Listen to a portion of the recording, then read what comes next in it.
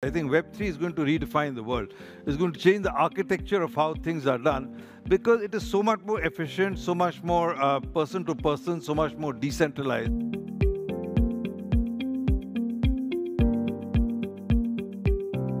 I think of Web3 a little bit broader than the general conventional definition, which is a blockchain-driven world. I, I, think it's mostly that, I'm going to come back to it. But I'd like to add on two other dimensions which I think are important. One is the uh, relevance of 5G and the capacity to have both bandwidth and latency, uh, which makes a meta world possible.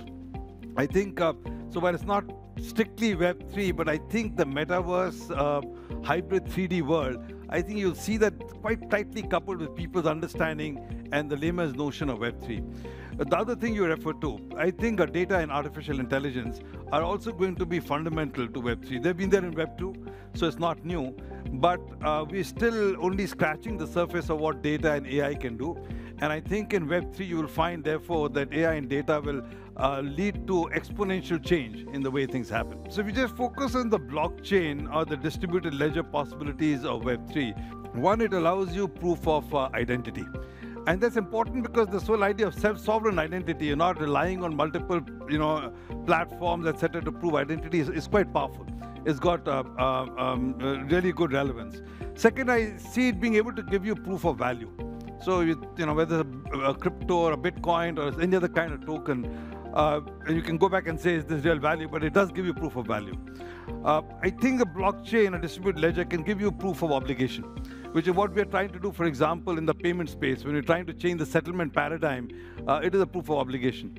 And finally, I think uh, in some ways it gives you proof of transaction. So you can determine in a decentralized chain with everybody's records the transaction happened and how a transaction is flowing. Uh, trade finance is a fantastic use case for something like this because the documents need to flow from the shipper to the bank, etc., etc. And at any point in time, this gives you proof of identification uh, transaction flow.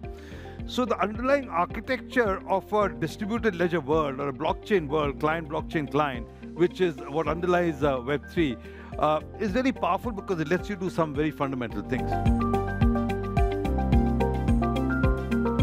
Goes back to the question of do you imagine a completely decentralized world with no intermediaries or not? And if theoretically you do, that you don't need any intermediaries, everybody contracts, then trust can be embedded in a smart contract.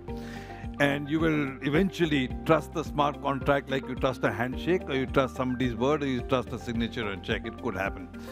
Uh, if you're of the view that I am, that you will not get to a completely disintermediated world, you will have an intermediated world where the power of Web3 can be made available, but you will still have people who own customer relationships, that human beings will still want to congregate at places, they will want to hang around in virtual clubs, uh, then I think you will still have a role for institutions who own relationships. Right. And institutions who manage customer experiences. Yes. And institutions who provide the advice to help people through the process.